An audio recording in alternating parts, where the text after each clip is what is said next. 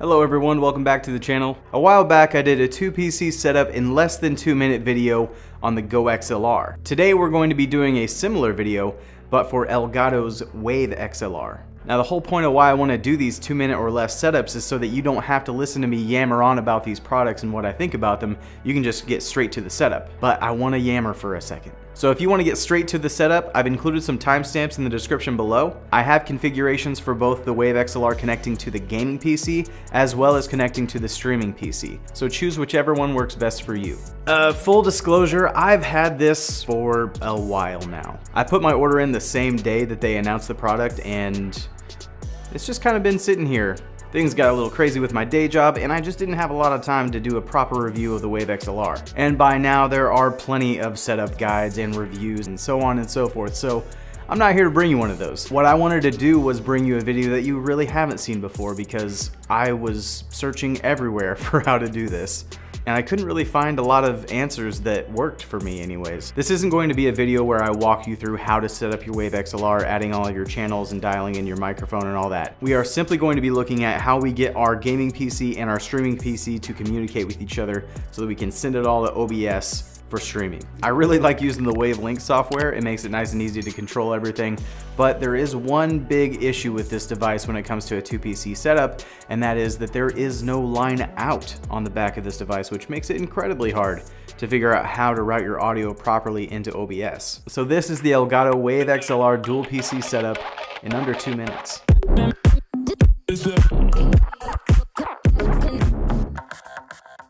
All right, so we have our Wave XLR plugged into our gaming PC. All the inputs are set up so we can control everything in the Wavelink software.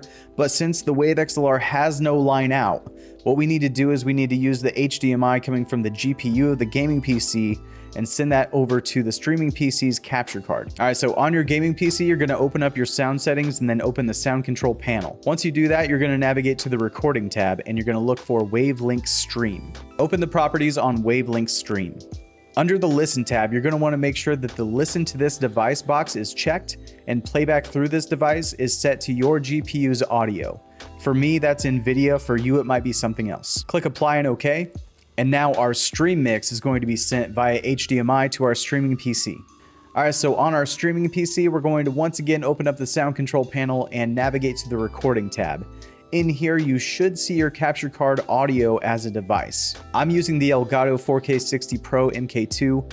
If you don't see your capture card audio here, chances are you're going to need to download the driver for it. We're going to open up our settings in OBS, and all that we need to do now is select our capture card audio as our input under mic auxiliary audio. So we've got our game. Now we're gonna bring in some music. Our setup is now complete. We have all of our inputs being managed by the Wavelink software over on our gaming PC, which is being compiled into the stream mix, which is being sent through the HDMI to the streaming PC and into OBS. So the problem I found with this configuration is that unlike the Go XLR, we can't take our streaming PC audio and route it back into the device so that we can get our alerts coming from OBS. The best solution I can offer right now is that you run OBS on your gaming PC as well and add your alerts as a browser source. Set those to monitor only in advanced audio, and this should allow you to hear your alerts in your headphones on your gaming PC. I was gonna use Voicemeeter to try to route audio back from the streaming PC, but then I remembered how much I hate using Voicemeeter, so I didn't. Let me know in the comments if Voicemeeter would be a viable option for this. I personally just don't enjoy using Voicemeeter and I wanted to go with the simplest setup possible. All right, so we have our Wave XLR hooked up to our streaming PC. All the inputs are going to be managed through the Wavelink software, but we still need to go grab the audio from our gaming PC. To do that, we're going to have our capture card listen to the audio coming from our graphics card on our gaming PC. So here on our streaming PC, we're going to open up sound control panel and navigate to the recording tab. Once you're in the recording tab, you're gonna go down and find your capture card audio. For me, I'm using the Elgato 4K 60 Pro MK2. If you do not see your capture card listed here, you might need to download a new driver for it. So we're going to open up the properties on our capture card audio device and we're going to go to the listen tab. And under play through this device, we're going to select our Wavelink game channel.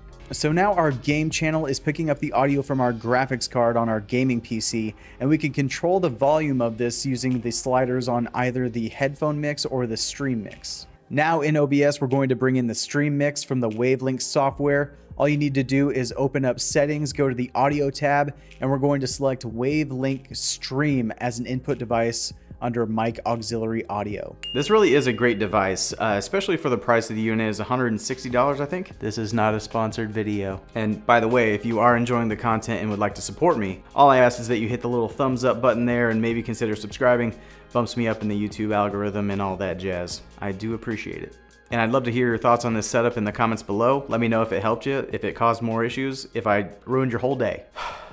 That's sad. I will be streaming a lot more here on YouTube, so feel free to come in and say hello if you see me live. Please let me know if you're enjoying these shorter videos that just get right into the setup. I certainly enjoy doing them for you. And let me know if there's any other content that you'd like to see from me. Thank you for watching.